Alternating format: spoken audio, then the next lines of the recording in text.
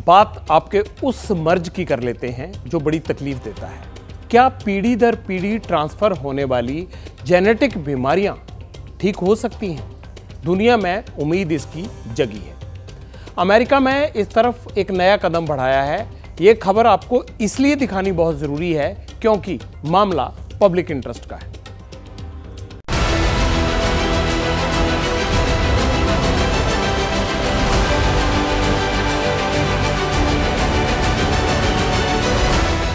America के वैज्ञानिकों के हाथ लगी है ऐतिहासिक सफलता।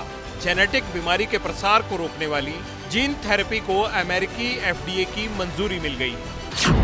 Sickle cell anaemia gene therapy पर मोहर लगी। यूएस फ़ूड एंड ड्रग प्रशासन ने दी मंजूरी। 12 साल से ज़्यादा उम्र के रोगियों को दी जा सकेगी वेस्गेवी gene therapy. Vaso occlusive crisis से पीड़ित मरीजों को होगा इसका फ़ायदा। हमारे ब्लड में तीन प्रकार की सेल्स रहती हैं। सो मेनली ये रेड ब्लड सेल को अफेक्ट करती है। रेड ब्लड सेल्स में हीमोग्लोबिन रहता है, जो कि बॉडी के अंदर ऑक्सीजन सप्लाई करता है।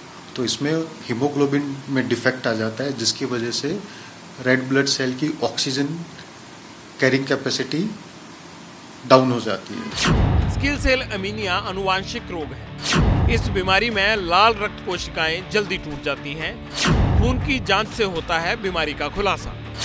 फेफड़ों में संक्रमण अमीनिया किडनी फेलियर स्ट्रोक हो सकता है। सिकल सेल एक रेयर टाइप की बीमारी है जो कि शरीर के ब्लड को अफेक्ट करती है। अब सवाल उठता है कि इस बीमारी का प्रसार होता कैसे है? माता पिता से मिलते हैं दो जीन दोनों जीन्स में असामान्य एचबीएस प्रकार का होमोग्लोबिन होता है।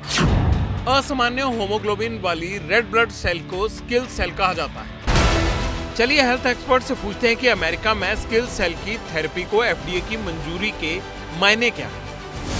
वो जो पर्टिकुलर ड्रग है that has passed all the test वो safety wise and efficacy wise prove हो चुका है। जो भी कॉम्प्लिकेशंस इस बीमारी की वजह से होते हैं, वो कॉम्प्लिकेशंस की रेट बहुत कम हो जाएगी। भारत में भी जेनेटिक बीमारियों के मरीज़ बड़ी संख्या में हैं, तो क्या अमेरिकी जीन थेरेपी भारत के लिए संजीवनी साबित हो सकती है? क्या अमेरिकी थेरेपी जेनेटिक बीमारियों पर रोक लगा पाएगी?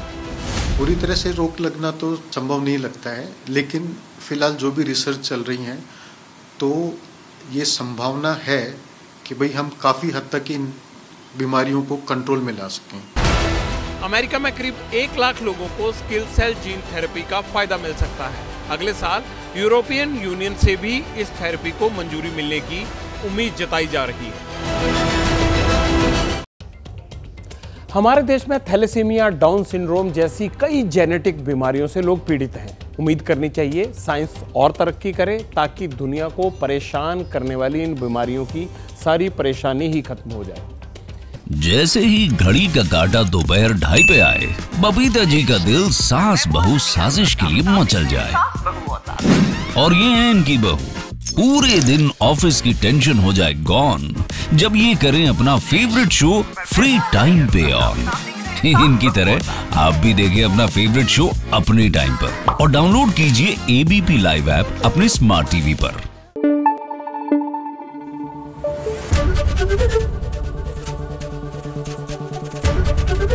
ABP news.